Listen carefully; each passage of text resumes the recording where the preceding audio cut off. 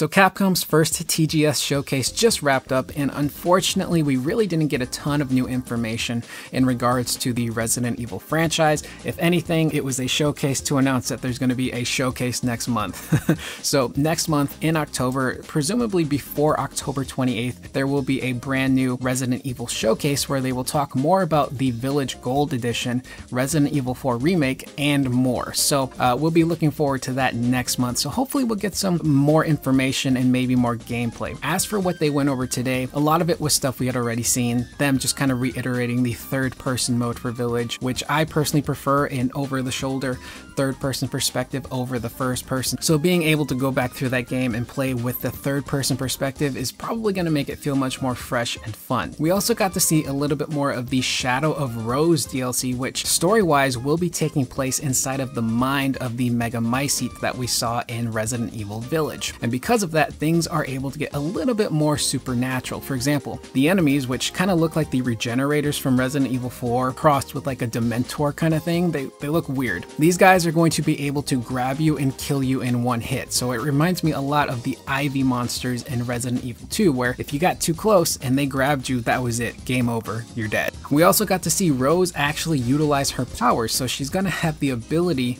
to freeze enemies in place and then target their weak spots, or if you want, just run away from them. So it's pretty cool that they are going to implement Rose's powers, and it makes sense how we're using them. It's not like she's using the powers in the real world and we're force pushing enemies away. This makes a little bit more sense since we're in technically a supernatural-esque world with that Megamycete. We also got a little bit more gameplay footage uh, for the Mercenaries edition, so we got stuff from Chris Redfield in there, Lady D, as well as Heisenberg, which is stuff they've been sprinkling out over the past couple of months, so there's nothing new there. They do briefly mention Resident Evil Village on MacBook, as well as the VR version of Resident Evil Village which is going to be pretty crazy. Now, in regards to Resident Evil 4 Remake, we really didn't get a ton of information except for the fact that they are in fact going to be releasing Resident Evil 4 Remake for the PlayStation 4 as well, so it's not just strictly a next gen game, which is kind of bittersweet to me. On the one hand, I was really hoping we would finally get a truly next gen Resident Evil game to be able to see what it would look like play like without any type of restrictions was really exciting. So unfortunately, it's not going to be truly next gen.